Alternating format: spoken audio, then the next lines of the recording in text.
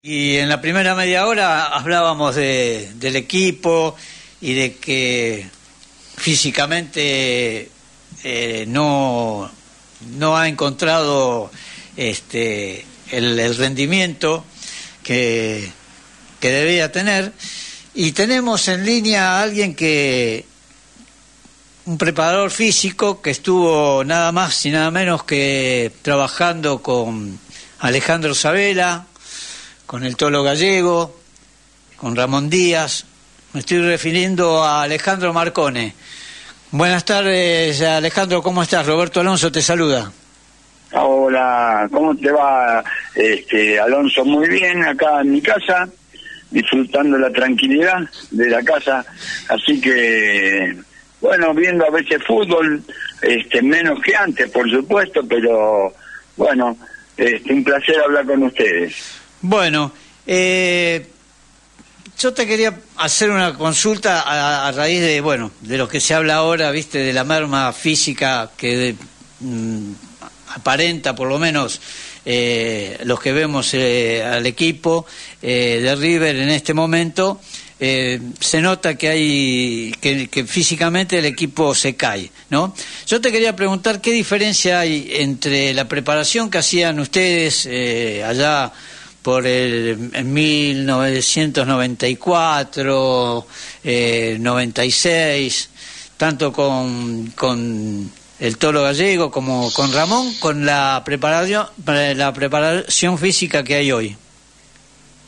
Y bueno, mira, hoy este, cambió todo muchísimo, es mucho más específico respecto a que se trabaja en forma casi individual con cada jugador este, hay mucha más tecnología aplicada al deporte, aplicada específicamente al fútbol, al alto rendimiento. Eh, vos fíjate que en los cuerpos técnicos hay este analistas, este, dos o tres preparadores físicos, eh, aparte de entrenador de arquero, dos ayudantes de campo, analistas de video. Bueno, nosotros en aquella época y funcionaba porque eran todos los cuerpos técnicos así. Este, en la reserva era Sabela y yo, nada más. En primera división ya, este, con el Tolo era el Tolo, eh, Héctor Pital y yo.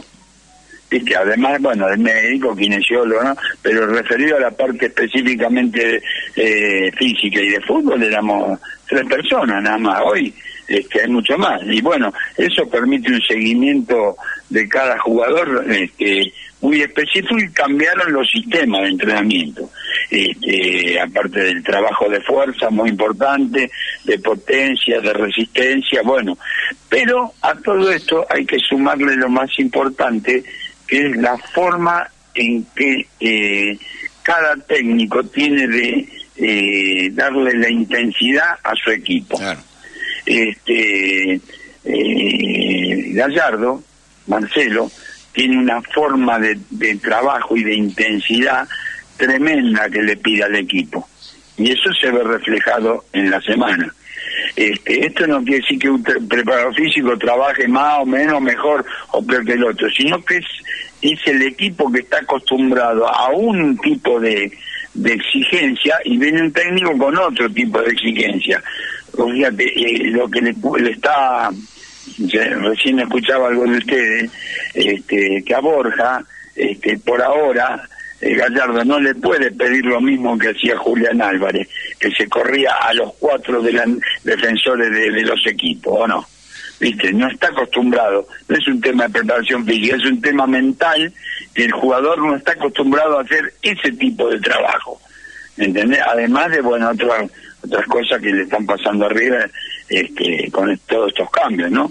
Alejandro, ¿qué tal? Buenas noches, el Tano Pazman te saluda, ¿cómo estás? Oh, ¿cómo estás? Bien, bien, ¿estás tranquilo? Sí, sí, sí, sí.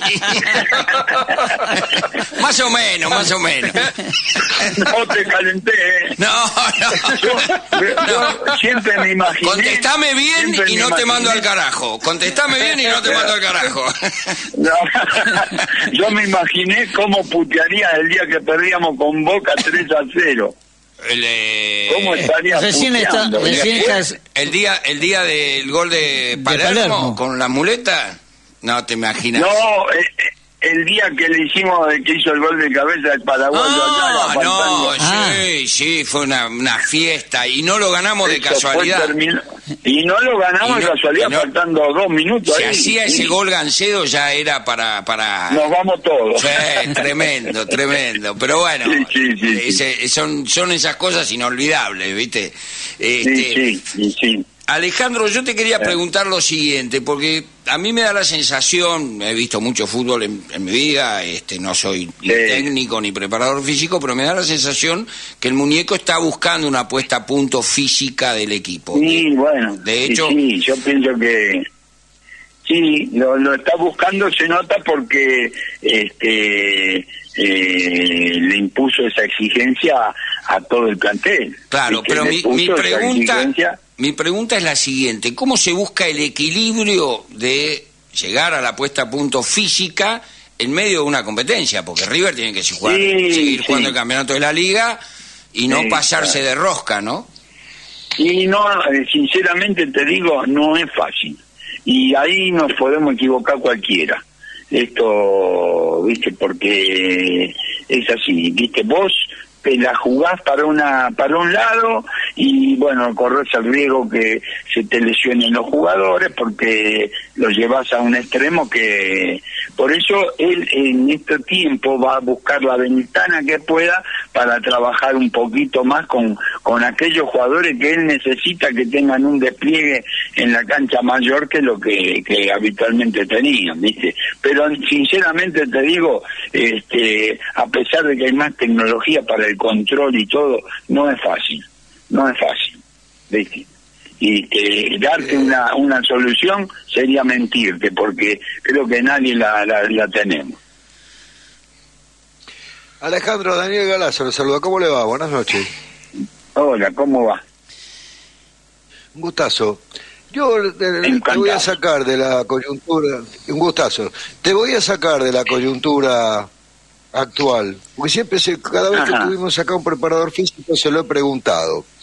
Allá por la década del 60 me parece que existió alguien que en los ámbitos de la preparación física, por respecto a los métodos, entonces creo que marcó una escuela que fue Adolfo Mogileski. Sí, señor, Eh, el kinesiólogo. Pe- Sí, el- pero más que nada el pre- preparador físico, pero Sí. digo en cuanto a los manejos del grupo, in- innovó Ah, en esas cuestiones allá por los 60. Sí, Digo, sí, sí. hoy los preparadores físicos tienen tienen este, injerencia en lo que es el manejo del grupo, tal como lo planteaba. Mogileski en esa época, o esa tarea fue No. quedando relegada y queda en manos de quién. Claro, no, no, ahora el trabajo fundamental del manejo de grupo eh, lo tiene fundamentalmente el técnico y algún ayudante.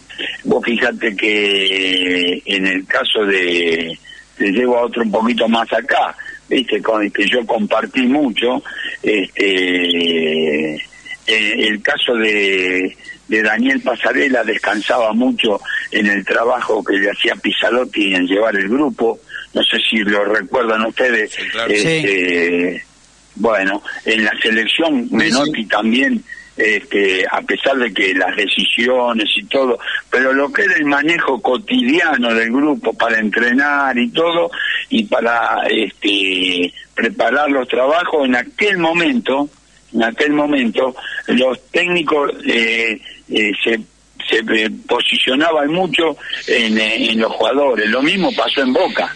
Este, con con otros o con el, que estaba el bambino Veira este bueno en la época de ellos también este descansaba se, se apoyaban mucho en los preparadores físicos. Ahora este no es que perdieron el relieve que tienen que tener pero es más compartida la conducción.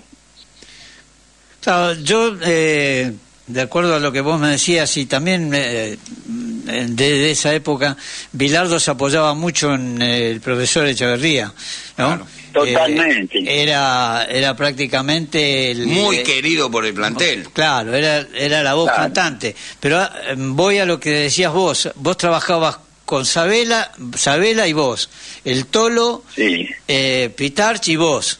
Y acá Sí. ahora Gallardo tiene a Vizcay, a Buján eh, como ayudantes técnicos y después tiene los preparadores físicos. Entonces, quizás ahí también eh, se ha, ha cambiado de que el preparador físico no tenga tanta relevancia, no tenga tan- tanto acercamiento al plantel, que generalmente es el profe el que está más eh, vinculado y, y conociendo lo- los problemitas que tiene cada jugador, ¿no? Bueno, en, en un momento era así, era como que el, el- técnico era el papá, vamos a llamarlo así, y el preparador físico era la madre, donde uno se acercaba más, el jugador le comentaba, me pasa esto, el otro, hasta, y uno buscaba la forma de hacérselo llegar al técnico de buena manera para evitar enfrentamientos o situaciones conflictivas, ¿no es cierto? Así que cumplíamos otra función. Fíjate que eh, un momento donde el profe se tenía que hacer cargo de la delegación, este, de distribuir las habitaciones, de, de llevarlos a la parte recreativa. Yo me acuerdo que los sábados de la tarde tenía que elegir una película para ir al cine, ¿viste? Este, nos encargamos, la verdad, este, era, era otra época, otro momento, otra historia fue. Este, bueno, eh, a lo que yo eh, lo que quiero decir es que sí teníamos la conducción del grupo siempre con la este, supervisión o con eh, el técnico sobre todo, ¿no es cierto? No es que el profe hacía lo que quería, no, pero tomaba la rienda en el momento que el técnico le delegaba la función. De todas maneras, Alejandro, hoy el fútbol argentino, el fútbol en general, la parte física es clave para, para un plantel, ¿verdad? Quizás más Sí, que sí, no, más que en la década del 70, por ejemplo. Y mira, eh, había en la década del 70 había jugadores que este, no eran este, grandes, este, Atletas. se dedicaban a entrenar mucho, digamos, no les costaba entrenar. Bueno, hoy los jugadores están muy mentalizados con el entrenamiento, muy mentalizados. Es difícil ver a algún jugador que eh, que no le dedique tiempo a su entrenamiento, porque este, pensá vos que atrás de él, de cada jugador ahora, hay una, una industria que, que los cuida, yo creo que los cuida, que son los, los, managers, pero los managers no son más. Un tipo que le llegaba la, la contabilidad o lo hacía hacer algunos negocios, no, son empresas que tienen un, un- una persona que la tienen que cuidar porque es un capital, entonces o le ponen psicólogo aparte, o otro preparador físico aparte, eh, no lo dejan solo porque es el capital de esa empresa, ¿me entendés? Entonces a veces se hace difícil congeniar el trabajo de los profes, de los profes, como te digo yo, de los profesores en el equipo, porque alguno está haciendo otro trabajo afuera, ¿viste?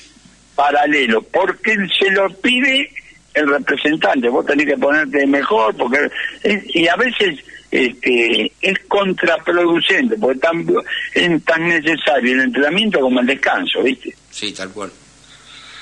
¿Qué tal Alejandro? Carlos te saluda, ¿cómo estás? ¿Cómo va, Carlos, tanto tiempo que no voy allá por, los por los veteranos, viste? Eh, sí, ya veo, ya veo, pero bueno, este, bueno, con Alejandro nos conocemos hace muchos años y bueno, alguno da fe de cómo han trabajado en esa época, porque yo estaba recordando ahora mientras ustedes conversaban la época de, de principio de los 90, cuando estaban Bueno. los famosos Pac-Man, ¿te acordás? Estrada, Sí, sí, el Estrada Chapa y- Zapata, el Chapa que Zapata. volaban adentro de la cancha esos muchachos. Bueno, Y eso, y eso que se jugaba a otro ritmo, perdón, ¿no? Sí.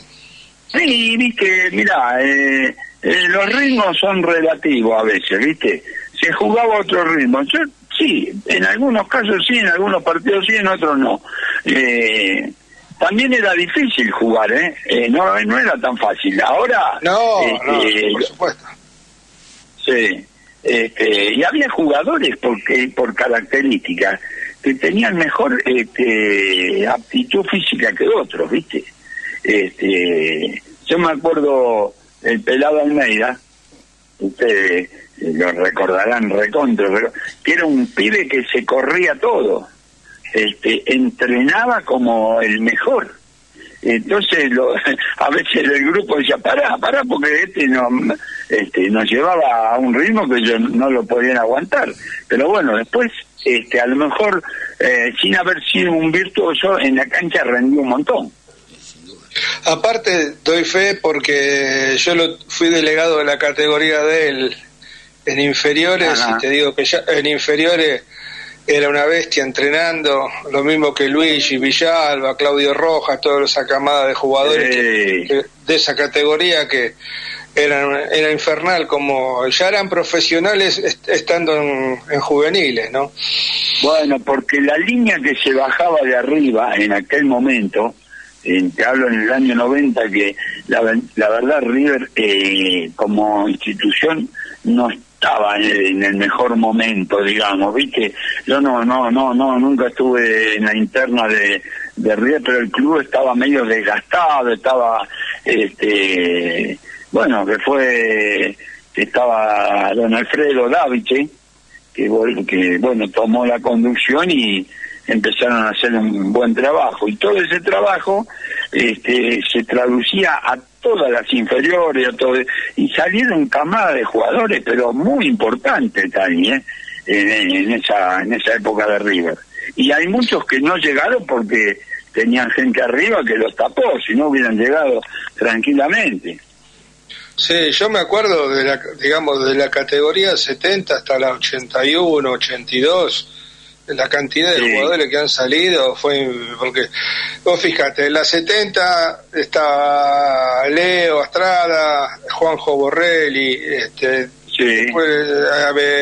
había, chicos que también eran muy buenos. Acordate el 71 Diego Siciliano un número 10 que era extraordinario uh, sí. Sí, muy bien, muy bien. Tuvo una pequeña oportunidad en primera, pero bueno, este eh, había, había grandes jugadores también arriba, ¿viste?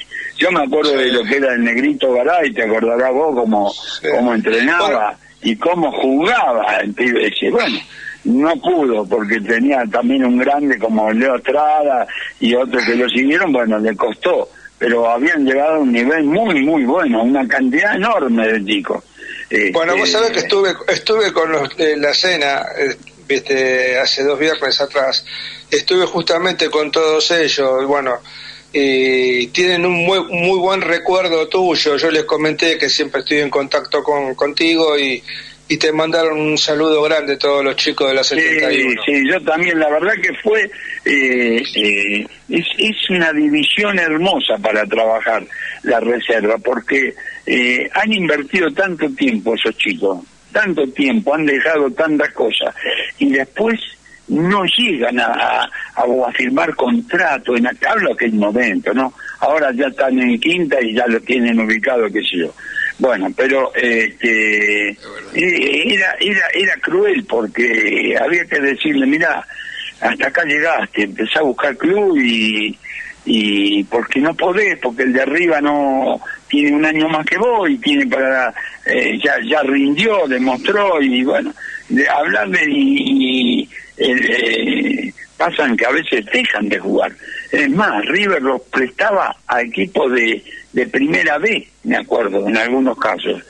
Y no rendían, porque claro, estar el día en el Monumental, jugar con la primera de River, en el Monumental, siendo amigos de los, eran todos amigos, el de primera, el reserva, este, y no llegar es una desilusión muy, muy grande. Así que bueno, sí, yo también tengo muchos buenos recuerdos de todos ellos. Alejandro, después de... Tengo una duda, después de Suecia 58, en donde... me mataste. El fútbol argentino...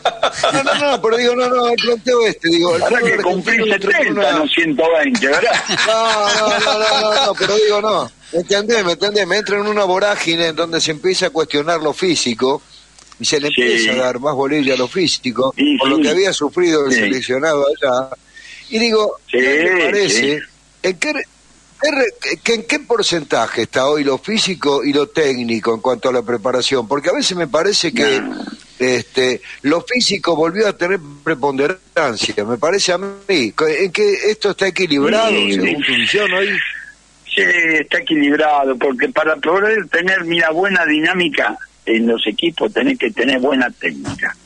Este, porque si a vos te tiran una pelota a velocidad y por más rápido que sea, si la recibís, si se te va larga, se, la paraste mal, eh, ahora tenés que hacer todo rápido, porque fíjate que Gallardo una de las cosas les pide, que ya lo trabajaban eh, el Tolo y Daniel en el 90, me acuerdo, y eh, el, la parada direccionada. O sea, vos parás la pelota en dirección a la jugada que vas a hacer. No es cuestión de pararla, girar, y cuando quisiste girar ya no la tenés más, ¿viste?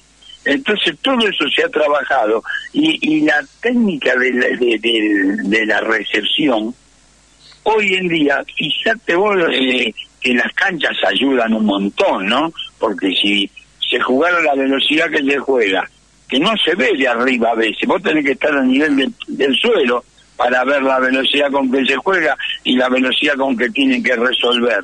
Este, pero es, son las dos que tienen, las dos cosas, una técnica exquisita en muchos casos y el, y, la velocidad del jugador. Y, y, la, y, la, y lo más importante es la velocidad mental. Vos fijate que el River, para mí, esto es, es una apreciación, que quizás con menos rendimiento físico por, porque le está costando, pero extraña a un jugador que, que era un verlo jugar porque hacía todo bien, como eh, Enzo Pérez. Sí, totalmente. Eh, y Alejandro, tengo una pregunta. Para vos la revolución eh, física de alguna manera se da en el 74. Yo no te llevo tantos años para atrás, sino te llevo al 74 con Holanda, donde se conjugan las dos cosas que vos decís.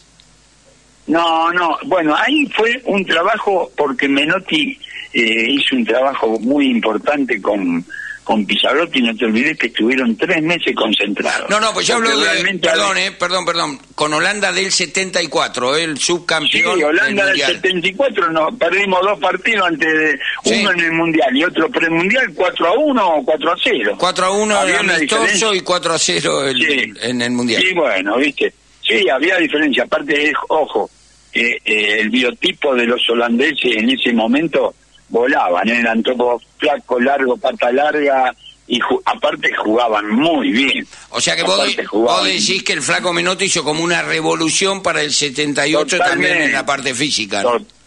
totalmente, totalmente. Y bueno, se aprendió del 74, se aprendió del 74. Acordate vos que nos costaba un montón. Sí, claro. Este, Con grandísimos jugadores. ¿eh? Era, era, era, era un tabú jugar con los europeos, ¿viste? Era tabú jugar con los europeos, pero no solo por eh, eh, el entrenamiento físico, sino por el biotipo de jugadores. Acordate que ellos eran todos flacos, altos, y bueno, este Menotti fue un, revolucionario, jugó con Galván que medía unos 75 de dos. Sí, sí. No, y además hace toda una serie de partidos amistosos en cancha de Boca todo el año 77 contra selecciones eh, europeas. Eh, claro, era la, esa que se jugó en la cancha de, del equipo contrario, no lo quiero volver a nombrar. Eh. Este... y lo bien que haces. lo bien que hago, ¿no? Acabo de decir una este, mala palabra, yo, yo lo nombré y dije una mala palabra. Alejandro, Alejandro, para, para ir cerrando, pues ya se nos termina el tiempo. ¿Qué diferencia había entre el, el, equipo del Toro Gallego de invicto al equipo de Ramón del 96, campeón de la Libertadores? Oh, viste, mira, no sé, yo te digo la verdad que este, eran lo, lo, de, lo del 94 fue algo maravilloso, te digo, viste, porque este, surgió de algo que eh, ni la, la directiva River eh, no me conocía, apenas me bueno, me conocían de la de las emisiones de reserva, pero no entrenando en primera o, alguna suplencia que le hice a Pizarotti.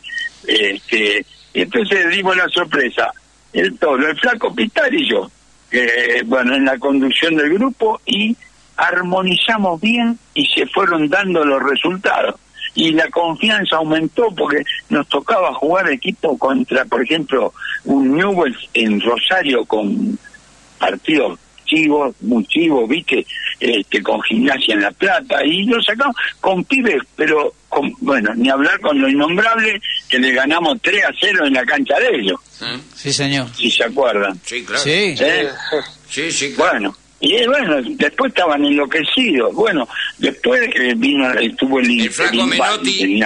El flaco Menotti, técnico de ese equipo, de los innombrables. Exactamente, exactamente, de ese equipo. Este, y después vino otra etapa donde eh, estuvo Carlos Babington, este, bueno, pero venía con otra forma, el de entrar a River no es fácil, ¿viste? Y, y esa época del 90, River era una época donde se trabajaba mucho, del 90 se, trabajaba mucho. Este, Daniel estaba en un buen momento, la verdad. Yo lamento eh, la parte dirigencial, pero la separo, ¿viste? De él, porque fue un gran entrenador, ¿viste? Eh, como como líder de toda la institución en ese momento, la parte futbolística, te digo. No, bueno, perdió, lamentablemente, se perdió un reconocimiento por por la, la gestión desafortunada, ¿no? Este, de- pero bueno, y yendo a, a lo que vos decías, este, el equipo de, de Gallegos jugaba muy bien y tenía y el Tolo tenía eh, una virtud, muy- veía muy muy bien el fútbol en el partido. Alejandro, Durante el partido lo veía muy bien. eh, nos tenemos que ir. Esto da pie para Bueno. otra charla para que nos duda. cuente después este lo de la Libertadores, ¿no? Y, y- Bueno, y se- y- bueno, y bueno. seguir hablando este de, de- de tus conocimientos y, y de aquellos tres chiquilines que tuviste en, en la reserva con Sabela, que hoy son los tres eh, técnicos de River, ¿no? Los tres, che, los tres, los tres, del Así- chiquito.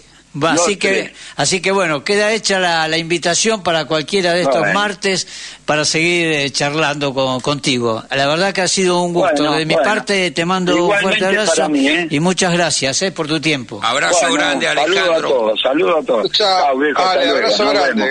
chao, chao. Gracias, Alejandro, abrazo. Bueno, Nos vemos. se nos fue como todos los Pero por- martes a ver, muy ¿qué- rápido. ¿por qué le molesta que yo haga... Perdónenme, ¿por qué le molesta que haga historia? Hay que ir a las bases. No, no, por supuesto. No, está buenísimo. Lo que pasa es que se sorprendió que te preguntaras algo que del tenés, 58. tenés que tener el Google cerca, ¿viste? Porque hay muchos que no, no conocen la historia, ¿eh? Y hoy son dirigentes. Está bien. Hay que, No, pues le marqué, le marqué a Mojile- le marqué a Mojileski porque Mojileski marcó una época Sí, claro dentro que de la sí. preparación Sí, claro física. que ¿eh? sí, Algún sí, día sí, vamos a hablar de esto. Eh, Mojileski, Escuchando los manejos de grupo. Leonard Escuchame, Nudel. Te, Bernardo, te olvida- eh, te olvidaste de otro, Daniel. De Kistermacher. De Kistermacher te Ah, de, ah, claro, por supuesto, otro histórico, sí. Que fue Bueno. preparador físico de River Jorge, también. Jorge Kistenmacher. Bueno, Yo lo, lo conocí en Ferro. él. Nos tenemos, Sí, sí. nos tenemos que ir. Sí, Es más, ha- habíamos quedado con Daniel cuando ustedes, ustedes todavía no estaban en el, en el programa, con el, pro- con el profe Polola, que estaba con Grigol. Habíamos quedado en que De íbamos Ferro. a hacer, claro, pero estuvo en River también con, con Grigol y Bonini. Eh, Sí. Y así que habíamos quedado con él que íbamos a hacer una charla este, sobre, sobre Mojileski, sobre toda la preparación física, eh, que está también pendiente. Así que bueno, tenemos mucho. Nos vamos. Eh, esperemos eh, un buen rendimiento de River el, el domingo y que empecemos a encontrar el camino. Lindo partido el domingo para ver, ¿eh? Nos vemos, Sí, nos lindo reencontramos, partido, sí. Nos reencontramos el próximo martes en este nuestro espacio El Ángel de River de 20 a 21 acá por La Rebelde. Chau. Abrazo, Buenas buenas noches. Abrazo Chao. grande. Chau, Buenas chau. noches.